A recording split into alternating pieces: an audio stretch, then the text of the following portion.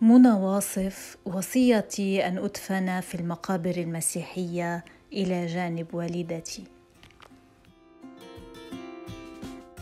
آه يعني أنت الصبية يلي ببدايات عمرك بعتي غزلة أنت وصغيرة؟ غزل البنات بالمعرض.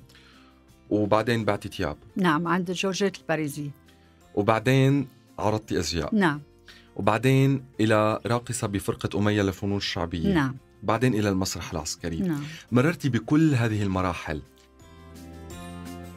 ولدت الفنانة السورية منى واصف من أم مسيحية وأب مسلم كردي وهي من مواليد يوم 1 فبراير عام 1942 هي فنانة سورية تعتبر من أهم الفنانات السوريات في جيلها.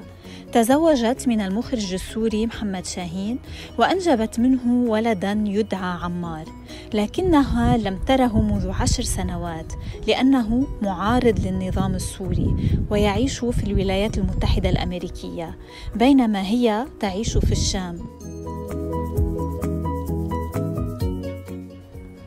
وصرحت مع وفاء الكيلاني أنها لم تره منذ عشر سنوات. إمتى اللي ممكن تروحي تعيشي فيه مع عمار ابنك في أمريكا؟ على طول؟ آه. ولا يمكن أنا أترك الشام. ويها بني عبد الدار!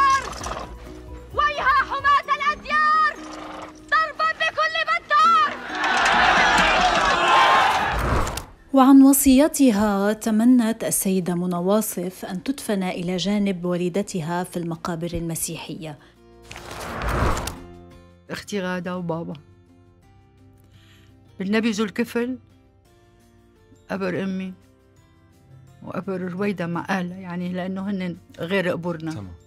بتمنى كنت أندفن بقبر أمي بس بجوز ما يحق لي لأنه من غير عائلة. في قبر أبو عمار وهذا وفي قبر أبي وأختي. القبور جاهزه ما ما الله يعطيك. الصحة وطول لا. ما هذا الموت علينا حق بس يعني القبر طالما القبر موجود أنا ما بترك. ما فكرت ولا ممكن فكر. أنا عمار بأمريكا يعني.